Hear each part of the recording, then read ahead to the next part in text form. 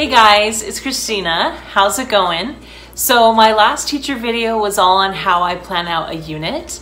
So today I wanted to talk to you about how I plan out a lesson.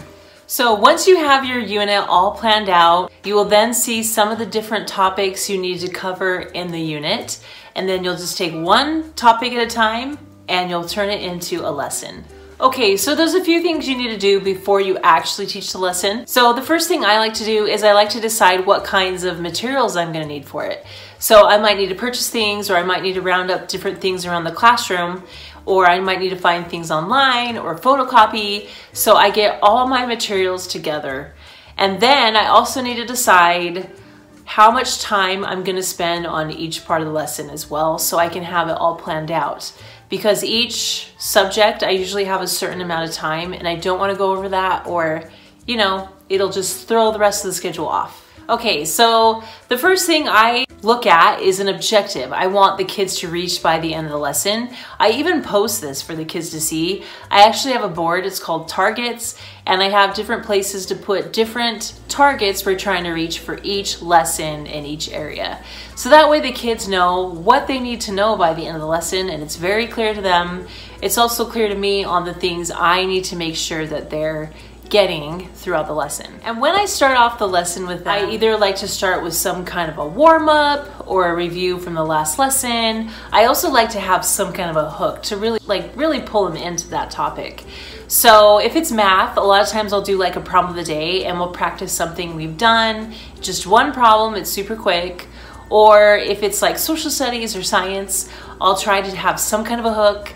So maybe I'll play a little video clip or I'll show like a little comic that has to do with it, or give them an interesting fact, or just do something to really catch their attention.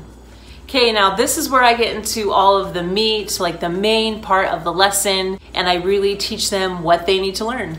So I usually like to put in a lot of strategies and a lot of different realms of learning. So I might do cooperative learning in it, I might use art, music, uh, I might use technology, or we might use literature and I'll really teach them some of the stuff they need to know. So that's like the main part of the lesson you want to cover next. And then from there, I'll have them practice a little bit. And this is more with me helping them. It's like a guided practice. So if it's math, maybe they'll get a whiteboard and a marker out and I'll have them go through a few problems with me and I'll just see how they're doing a little bit more on their own, but with me kind of like supervising.